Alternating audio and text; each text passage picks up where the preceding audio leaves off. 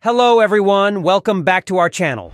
Today, we bring you a tragic update from Baltimore, where the Francis Scott Key Bridge, a vital artery for the region, has collapsed in a catastrophic event early Tuesday morning. A container ship, the Singapore flagged Dali, collided with a support column after losing power, leading to a significant portion of the bridge plummeting into the Patapsco River below.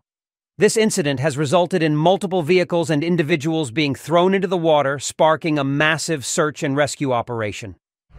Stay with us as we delve into the details of this tragedy, the ongoing rescue efforts, and the broader implications for the Baltimore area and beyond.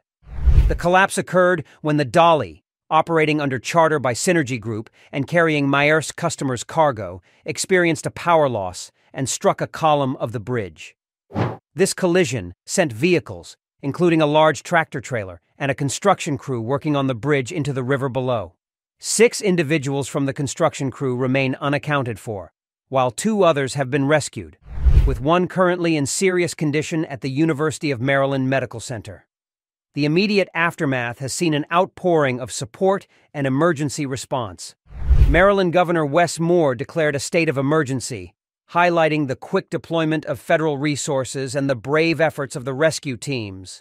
Baltimore's emergency services, along with the Coast Guard and the FBI, are actively involved in search and rescue operations. Despite the tragic circumstances, the swift action following a Mayday call has been credited with preventing further loss of life. As the community reels from this event, the focus remains squarely on the search and rescue efforts. Maryland's Department of Transportation, along with federal agencies, is investigating the cause of the power outage that led to the collision. Shipping through the port of Baltimore has been halted, affecting one of the East Coast's major shipping hubs and disrupting economic activities tied to the port.